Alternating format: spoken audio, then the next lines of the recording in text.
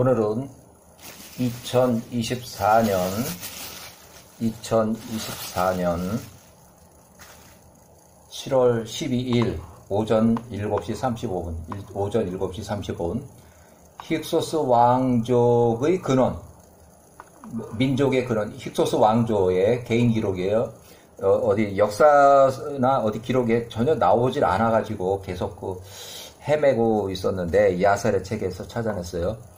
자, 야셀의 책의 10장을 그냥 인용하는데 에벨의 모든 자손들이 아버지 노아의 아들 셈 1세대의 자손들 중 일부 또한 나가서 그들이 스스로 성읍을 건설했으니 그들이 흩어졌던 곳들이며 그들이 그들의 성읍을 그들의 이름을 따라서 지었다. 자, 30일에 여기 야셀의 10장의 31절 1세대 셈의 아들들은 이제 셈의 아들들은 첫 번째 엘람 아수르 그러니까 엘람 나라 아수르 나라 아박삿 아박스 아르박삿 아르박삿은 나라가 없어요. 아, 브라함의 조상이지만 아르박삿 나라가 없고 루드 아람이며 그러니까 아람 나라 아수르 나라 루드 나라 아람 나라 다 나라를 건설했는데 셈의 아들들이 아르박삿만 나라가 없어요. 자 그들이 그들 스스로 성읍들을 건설하고 그들의 이름을 따라서 그들 모든 성읍들의 이름을 지었다.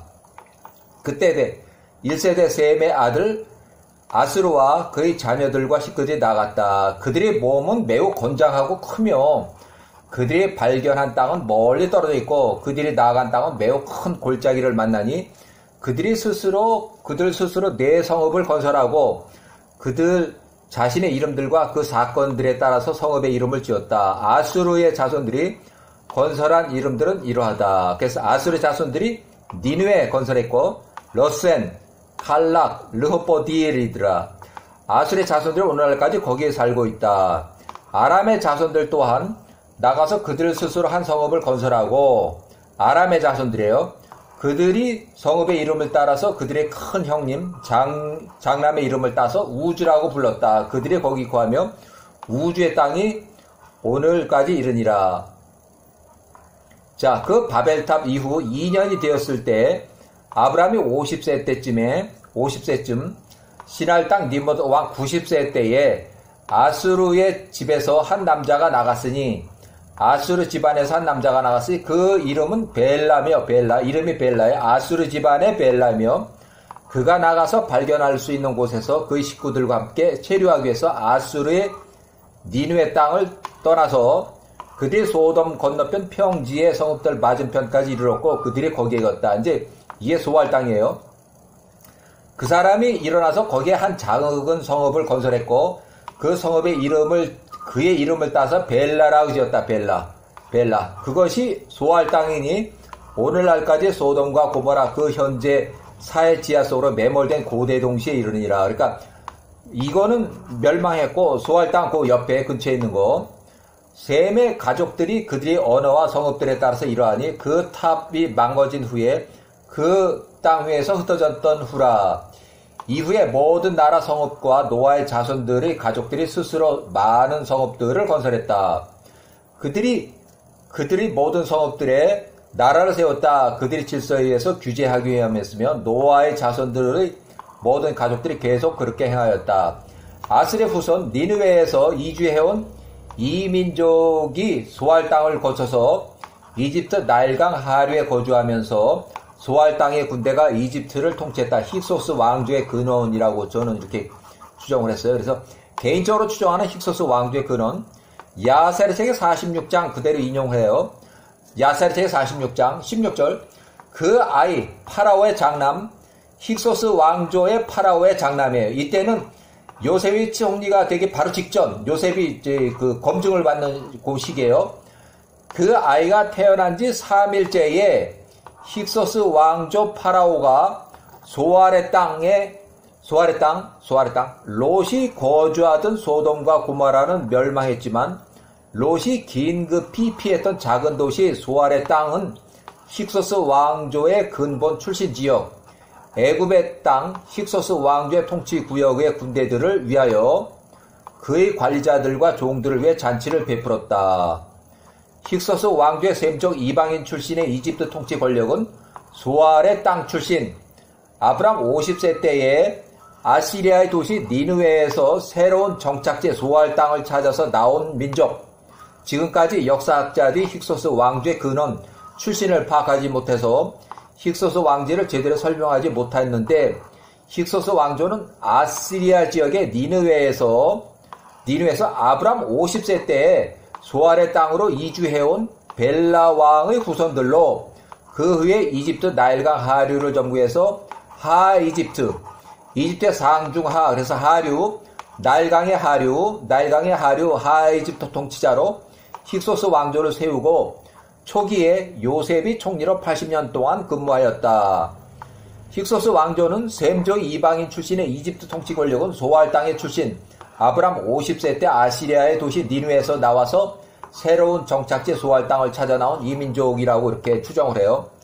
자, 1869년 롯이 69세 때 베델 소돔, 소돔 고모라 지역의 남남쪽으로 이주해서 개인적으로 야셀의 책에서 인용한 소돔 고모라 지역의 이주자들을 설명했는데 그 바벨탑 사건 이후 아브람 사건이 이후 2년 지났을 때 1896년 아브람이 50세 때에 아수르의 집에서 한 남자가 나갔으니 그의 이름은 벨라이며 그가 나가서 발견할 수 있는 곳에서 그의 식구들과 함께 체류하기 위해서 아수르의 니누의 땅으로부터 나갔으니 그들이 소돔 건너편 평지의 성읍들 맞은편까지 이르렀고 그들이 거기에 있다. 거기가 바로 소알 땅이다. 소알 땅, 벨라 왕 소알 땅. 아수르의 베들헤브론 남남쪽 이주. 그래서 이때는 이제 아브람이 77세고 엘람 땅에 그돌라 오멜 3명의 왕이 80만 명의 연합군으로 이제 어, 이 아, 소돔과 고모라를 공격했는데 신할동의 바벨로니아 왕 118세 그 다음에 조공 고모라 소돔과 고모라 5명의 왕하고 전쟁을 일으켰다. 1868년 롯이 71세로 포로 잡혀갔고 아브람이 78세 318명의 일꾼으로 연합군을 구성한 아브람 군대가 야, 퇴각하는 야, 그 군대를 야간에 추격을 해서 다마스커스 서쪽 호바까지 추격을 해서 거기서 롯을 구해왔다. 자, 그 이후 한참 이후에 이제 이집트에 요셉이 팔려간 지, 어, 12년 후에 요셉이 술, 술 맡은 관원자의 꿈을 해몽하다 요셉의 실수 얘기가 나와요. 요때는 요셉이 27세에서 28세, 그러니까 팔려간 지 9년째, 10년째 됐을 때, 10년째, 10년째 됐을 때요. 야사의 책 46장, 야사의 책 46장. 그때 요셉은 여전히 애굽 땅에 있는 가목의 집에 감금되어 있었다. 이때 요셉이 27세에서 28세 사이 그때에 파라오를 시중드는 자들이 그 옆에 서 있었으니 술 맡은 집사들과 빵 굽는 자들 중 수장으로 애굽 통치자 왕에게 속한 자들이었다. 애굽 통치자는 힉소스 왕조, 힉소스 왕조, 이 애굽의 통치자는 힉소스 왕조예요. 술 맡은 집사가 통치자 왕이 마실 와인, 힉소스 왕, 왕조의 통치자 앞에 누웠고 빵 굽는 자가 통치자 왕이 먹을 빵을 통치자 앞에 진열하였다.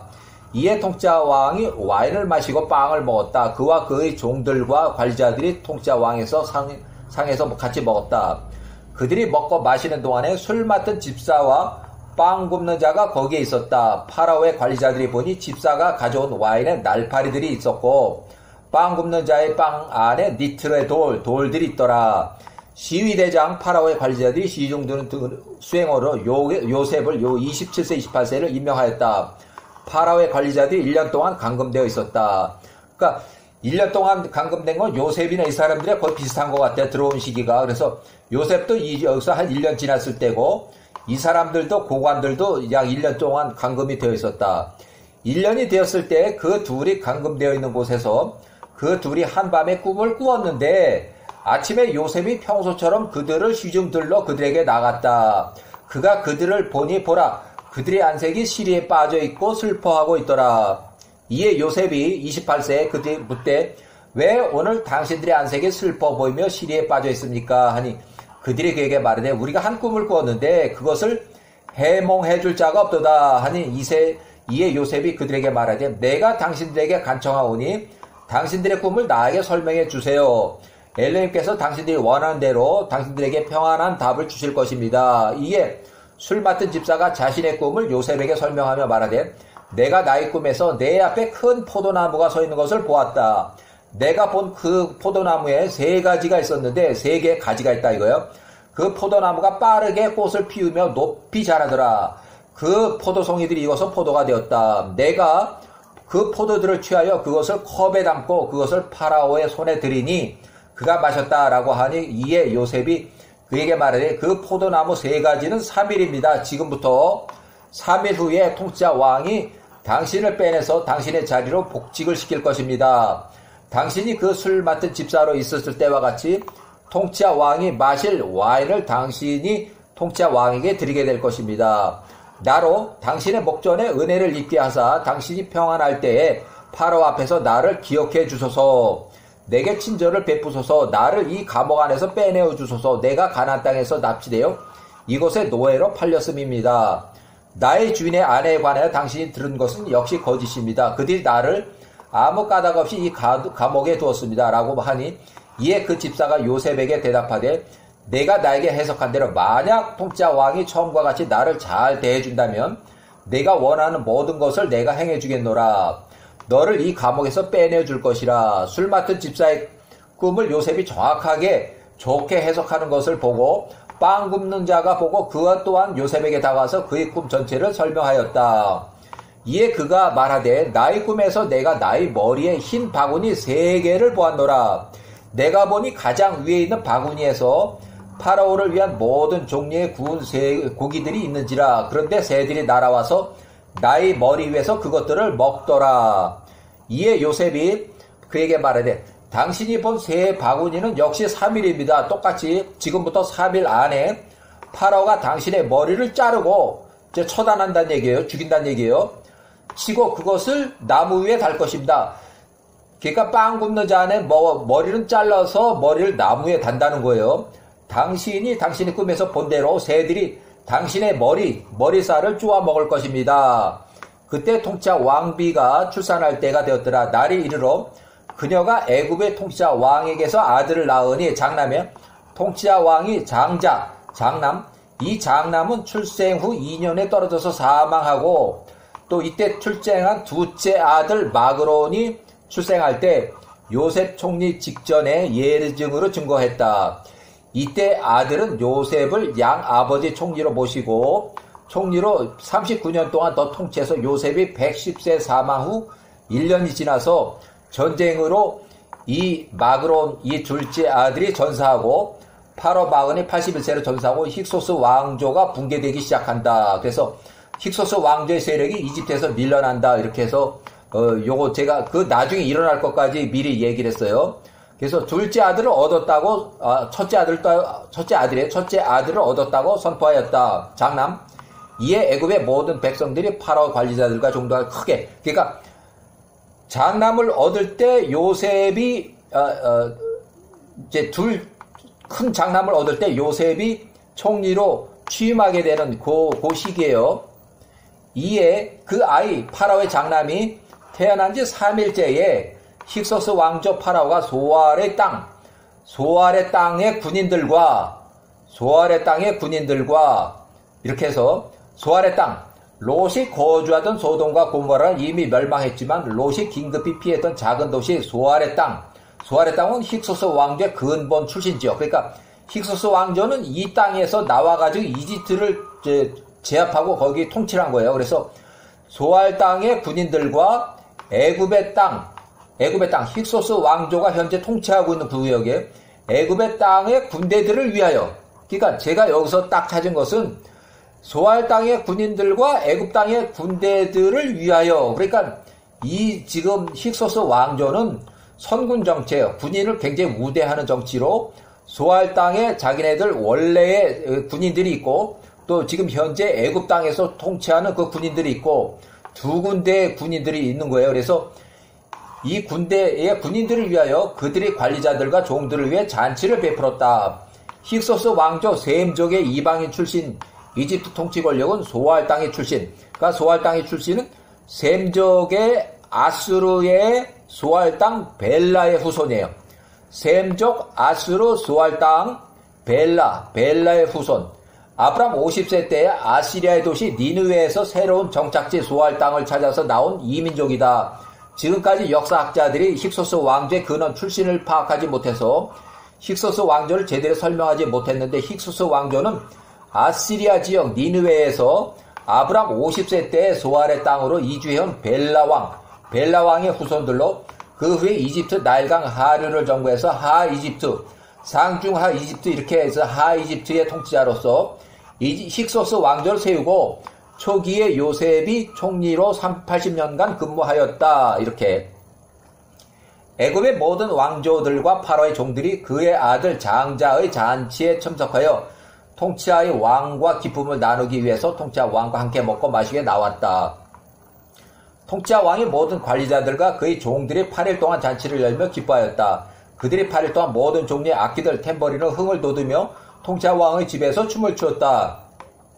요셉이 그 꿈을 해석하여 주었던 술 맡은 집사가 요셉을 잊고 요셉에게 약속했던 것을 잊고 그가 통치자 왕에게 그에 대해 말하지 않았다. 이는 이것이 주께로부터 말미암음이니 요셉이 사람을 신뢰했으므로 주께서 벌을 주신 것이다. 주께서 요셉을 벌을 주신 것이라. 요셉이 야후와보다 술 맡은 자를 더 의뢰하였다. 술 맡은 자에게 청탁을 했다. 자기를 풀어달라고 한 거예요. 이에 요셉이 그 감옥에서 2년을 더 머물렀으니 그가 애굽에 노예로 팔려온 지 12년을 채웠더라. 그래서 이삭의 사망, 야곱의 그 앞에 요 요 요 요 부분 이제 그 요셉의 실수가 되는 거예요. 요셉의 실수. 자, 1678년부터 1660년 요셉이 17세에 이집트에 노예로 잡혀오면서 9년 동안은 노예로 살았고 3년 동안은 저 감옥에서 살았는데 감옥 요셉의 이집트 노예 생활 이집트 힉소스 왕조 때에 초기 왕조 출범 10년 차에 요셉이 17세 요셉이 7세쯤에 힉소스가 왕조가 시작되었다 추정하며 요셉 110세가 사망 후에 110세 사망 후에 1년이 지나서 이집트 이주한 지 72년 만에 힉소스 왕조의 아들 파라오가 마그론이 전사했다. 그래서 힉소스 왕조가 붕괴되기 시작했고 힉소스 왕조는 나일강 이집트의 나일강 하류 삼각주를 중심으로 시리아, 팔레스타인 및 나일강 중부 지역까지 지배를 했었다. 요셉이 29세에 이집트 왕 꿈을 해몽했고 요셉의 신분이 수직 상승했고 이삽이 180세에 사망했고 막벨라 굴에 매장했고 이세 야곱 에서가 120세 요셉이 29세로 이집트 총리가 되기 직전 상황이에요. 요셉 30세 이집트 총리 힉소스 왕조가 요때 힉소스 왕조 초기 23년 차 그러니까 이집트의 요게 23년째 요셉이 30세로 힉소스 왕조의 총리가 되었다. 요셉이 요 그때 총리로 41년 동안 통치하였다. 그래서 파라오가 사망하 기 전까지 41년 동안. 그 다음에 자 이렇게 하고 자 창세기로 던 야게 야곱의 직계 가족 70인 이집트 이주 시기가 1871, 77년하고 출애굽기 기준으로 야셀의 책을 인용한 경우 1656년.